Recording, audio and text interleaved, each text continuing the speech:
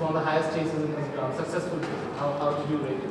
Uh, I think it was a roller coaster ride because we didn't have the best of the, uh, uh, I mean, best of the starts. But uh, uh, from the, uh, for the fourth wicket, I think we had a brilliant partnership uh, with Pathum and uh, Charith.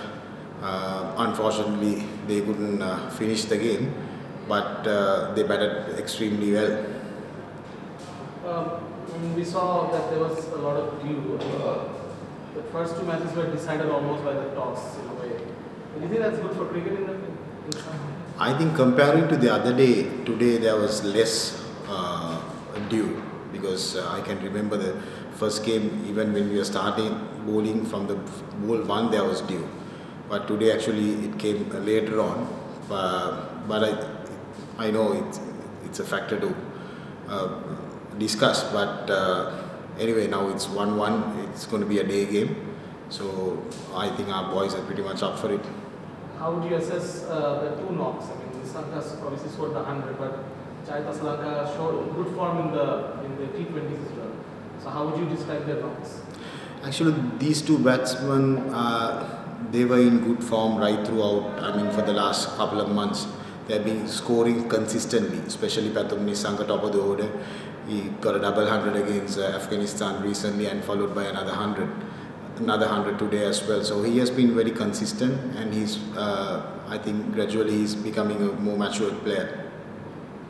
What, what do you say when you when the two batsmen like Pathum and both play similar brand of but both love to play strokes. What, what what what is the plan actually when they go out to create a partnership? I mean, both batsmen can hit at the same time. How do you see this? Yeah, it's, it's all about uh, assessing the conditions and the situation as well.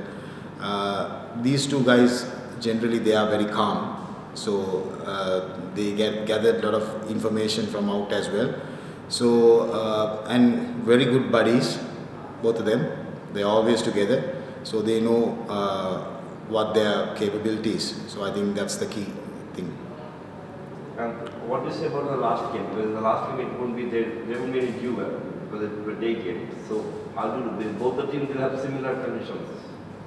Yeah, uh, interesting because uh, the same thing happened uh, in the T20s as well. So uh, we knew when we started the series it's going to be a day game. So uh, we have a little bit. Uh, I mean, there are things that we can discuss and still improve. So we're going to have a review meeting tomorrow and discuss about it. Uh, Coach, Sri Lanka dropped three catches and one of them was Tawhid Hridoy uh, when he was on six. Is there slight concern about the outfield and, you know, uh, fielding the deep and the catches that went down? Is there any talk about Uh, of course, yes, uh, we have to take those catches, and also I'm sure that they drop few catches as well. Yeah. So the, that's what I uh, told earlier from bowling, batting, and fielding. Uh, from the all three departments, uh, there are areas that we can still improve. I'm sure that uh, we haven't played a A game yet, so most probably they will play better cricket uh, in the third one day. the last one? Um, Sri Lanka obviously, uh, like many teams after they don't make it to the semi-final of a World Cup, they're rebuilding for the next four years. And so you think guys like Pathum and Chad, they're the like the like the solid guys that going to take through with, you know, Kusal also scoring runs sometimes, and then you have Sadeera also. I mean, is this the core batting lineup for Sri Lanka going forward? Never know because it, we have about good uh, three years to go for the next World Cup, uh, 50 over World Cup. But I'm sure selectors have a plan because uh, if you are planning properly, so then at least for the uh, next World Cup, we have about good four or five players who played at least 100 games. So, which was, I think, uh, which didn't happen the last World Cup. So we need experienced players. So as long as they get uh, exposure, so they'll do better. And what does Hasaranga bring in this team? Because he knows how to bat. As far as his balance is concerned, how when Hasaranga comes in, how does that help as far as Yeah, on and off he might have a bad day or something like that, but unfortunately, he's a uh, fighter. He likes to take wickets, and even in the field he try to do uh, something to uh, for the team. uh, same same with him when he's go, going to bat as well. So he wants to uh, score runs uh, because he wants to become a good all-rounder in the future as well. Do you see that potential in him? Obviously, yes, he has been doing really well in the T20s. Now is the time to do in the 50 over format as well. And do you think that he is a more, more he plays more T20s? So when he comes to the 50 over format, what are the changes that you would like to see him as a batsman? As a batsman, I think pretty obviously he has to bat longer uh, because in T20 he might can change a game in four five balls, but he has to bat long. And uh, my I, I always uh, tell them to finish games. So we didn't do that today because I, I was expecting Pathum and Charith to finish the game. Then I thought Wani will do that, but it didn't happen. So those are the areas that we have to discuss uh, really hard. At.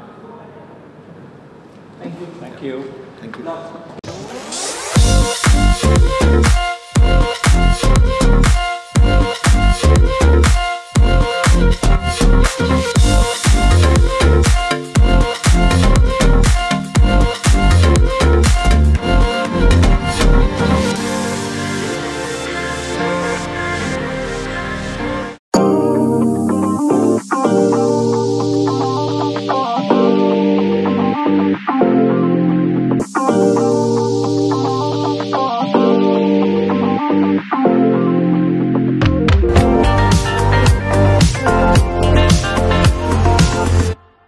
Welcome to Sri Lankan Airlines,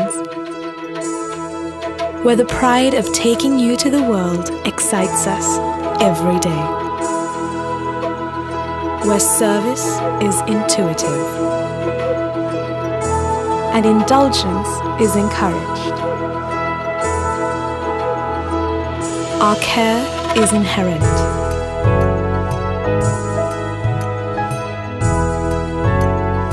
This is where the world comes home.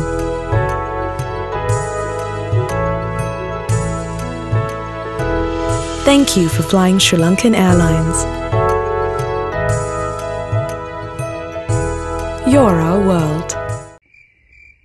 කරන් කැපුවනේ කරන්තියක් light තියෙන නම් තත්වයෙන් ඉහළ green electric rechargeable LED බල්බම තෝරාගන්න. විදුලි බලය නොමැතිව පෑ හතරක් පුරා දැල්වෙන වසරක වගකීමක් සහිත එකම බල්බය. ග්‍රීන් ඉලෙක්ට්‍රික් රටම එලියයි ප්‍රමිතියෙන් ඉහළයි.